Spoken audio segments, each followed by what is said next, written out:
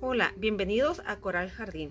Hoy les voy a dar una explicación del beneficio de harina de sangre en las plantas.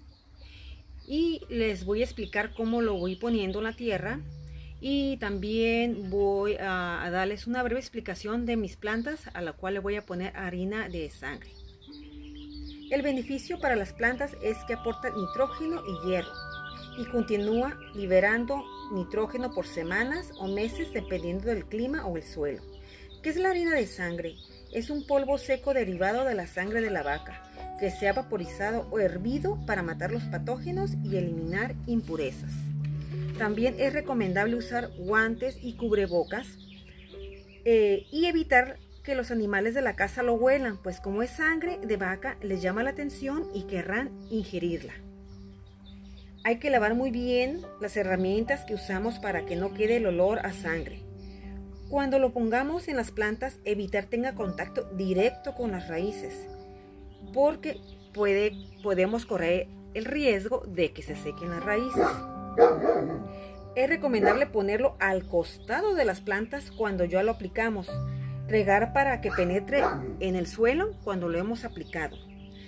Y el nitrógeno ¿Qué beneficio es el nitrógeno para las plantas? El nitrógeno es esencial para el crecimiento de las plantas.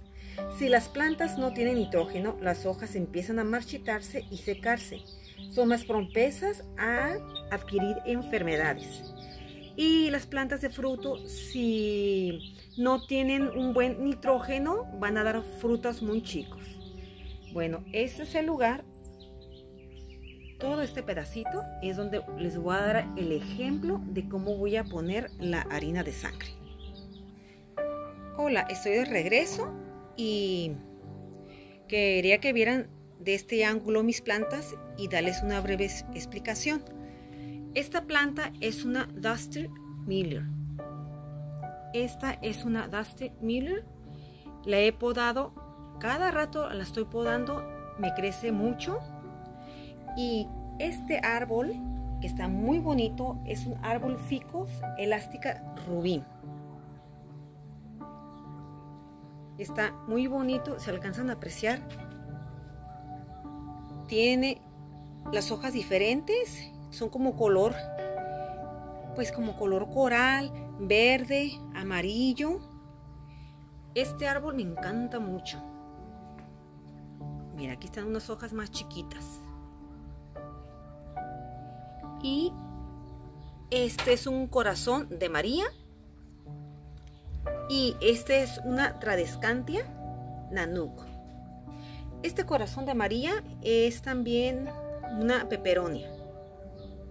Este árbol ficus elástica rubí se puede utilizar para interior y también se puede usar para exterior. Como pueden apreciar, yo lo utilizo mi árbol en exterior. En interior puede sobrevivir este árbol y también tiene el beneficio de que purifica el aire. Es originario de las selvas tropicales de Asia. Eh, le encanta mucho la luminosidad, pero aquí no le da el sol directo de la mañana y le da, ahorita le está dando sol, que ya viene siendo como el sol de la una de la tarde, pero no le da muy fuerte. Y yo lo riego dos veces por semana y aguanta mucho la sequía. Y ahora les voy a dar una breve explicación de mi planta. Aquí está. De mi planta Dusty Miller. Es de la zona mediterránea. Alcanza el metro de altura. Es de sol. Es de color gris plateado sus hojas. También tolera las heladas. Debe tener un buen drenaje para evitar que las raíces se pudran. Y este, como les comenté, que yo lo conozco como corazón de María, también se le llama, bueno, su nombre científico es Peperomia polibotria. Puede estar en exterior, puede estar en interior y exterior luz indirecta. Aquí no le da el sol. Está muy protegidita aquí del sol. Y ah, también lo que investigué es que si ustedes compran su plantita de corazón de María, pero si ustedes deciden, deciden tenerla en interior, como le va a hacer falta algunos días para adaptarse en estar en interior, tal vez se le pueda poner unas cuantas hojas amarillas, pero no pasa nada, es simplemente mientras eh, se adapta. Estoy de regreso. Este es mi árbol pequeñito, mi árbol de papayo. Ah, cómo me gusta este árbol. Está chiquito. Eh, y sé que con la harina de sangre uh, va a dar frutos, porque la harina de sangre es, es, lo mejor para los árboles frutales. Y este, una breve explicación es de los climas cálidos del norte y centro de América, especialmente en el sur de México y Nicaragua. Yo este lo planté hace unos seis meses y para dar frutos cuando es trasplantado tarda de 10 a 12 meses. También puede crecer de 8 metros a 10 metros. Y quería presentarles, este es mi otro corazón de María. Este lo tengo en una maceta.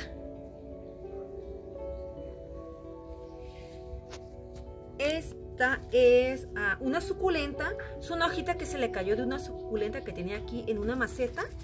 Se cayó y pegó solita. No me sé el nombre, no, no, no sabría darles ahorita una descripción de esta planta. Esta planta yo la conozco como roeo, pero su nombre científico es Tradescantia spacea. Esta Tradescantia también le, llaman maguey morado y es nativa de México y Centroamérica. Crece unos 30 centímetros de longitud y 7 centímetros de ancho. Son plantas de sombra y también puede tenerlas en el interior. Yo también la tengo aquí en exterior. Bueno, ahorita voy a, quitar aquí tantito las piedras o hacerlas un ladito para explicarles cómo le voy a poner la harina de sangre. Y me voy a poner guantes y me voy a poner cubrebocas. Y aquí tengo en mi pared este muñequito. Y en este, este es un árbol de membrillo. Esa es una casita que tengo aquí colgada en mi árbol de membrillo. Bueno, estoy de regreso y mira, aquí está el modo de uso. Y aquí explica este, que para aplicar sobre la superficie del suelo, para el desarrollo de hojas, una taza por cada dos metros cuadrados o una cucharada para contenedor pequeño y mezclar bien. O aplicar en los camellones, surcos de trasplante, en hortalizas, aplicar como mínimo 15 días antes de trasplantar.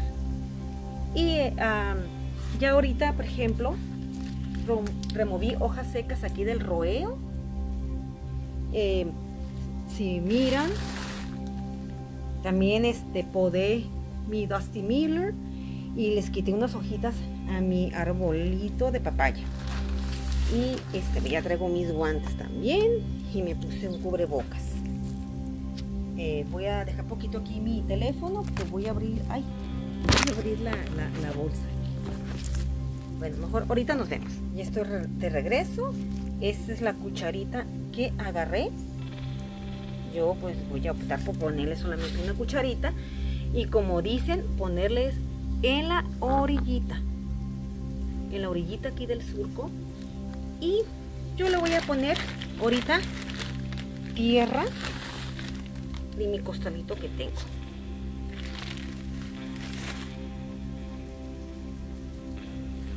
tierra y ya le regreso la otra tierra. Yo, aquí dice que lo podemos poner sobre la tierra. Yo le voy, le hice un hoyito, también se puede hacer como un surquito. También dice que se puede poner un surquito y yo te puedo ponerle un surquito. Voy a volver a agarrar otra cucharada.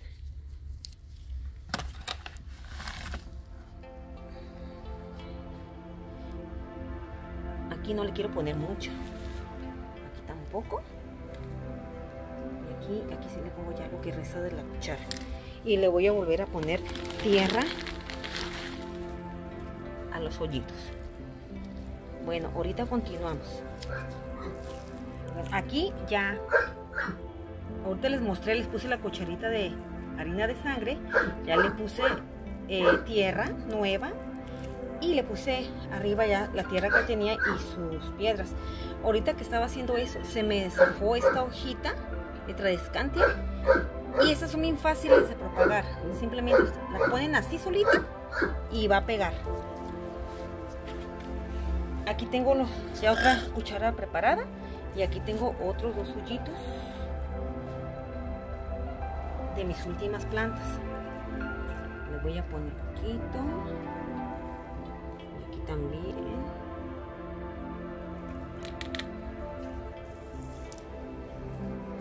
Ya por último hay que regar para que se penetre bien la harina de sangre y empiece a dar ya sus beneficios.